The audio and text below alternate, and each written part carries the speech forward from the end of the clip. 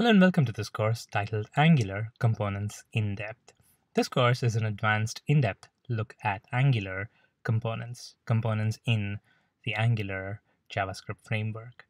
Uh, as the title says, this is an in-depth course. So this assumes that you have some Angular knowledge. You've either gone through the Angular basics course on JavaBrains, or you have worked on Angular and at least built some basic to do apps or hello world apps so that you kind of know what the framework is all about and how you can get started with a simple application.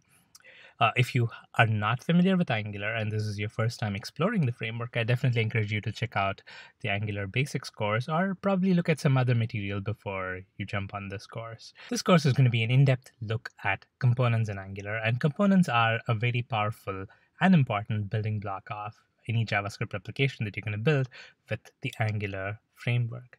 So this course is split into three units. The first unit is going to be covering some of the basics, not quite the basics that a newcomer to Angular would be expecting, but this kind of assumes some knowledge, but still it covers all the bases. And uh, if you're familiar with Angular, you might want to skip Unit 1, but I definitely encourage you to go through that because, uh, well, you never know, you might learn something that you are not familiar with at this time. Uh, but we're going to be looking at some of the, the quote unquote basics of Angular, which includes having uh, hierarchies and components, having a parent component and a child component, and also passing data from parent to child and events from child to parent. We're going to be covering all that in Unit 1. Unit 2 is going to dive deep into some encapsulation concepts in components.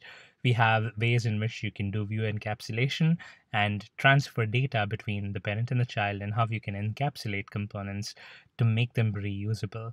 We also learn about a couple of concepts which allow you to work with hierarchies between parent and child components, uh, including accessing child instances from the parent using the view child and the view children annotations. Unit 3 is going to be covering some more advanced concepts, including content projection and multi slot content projection.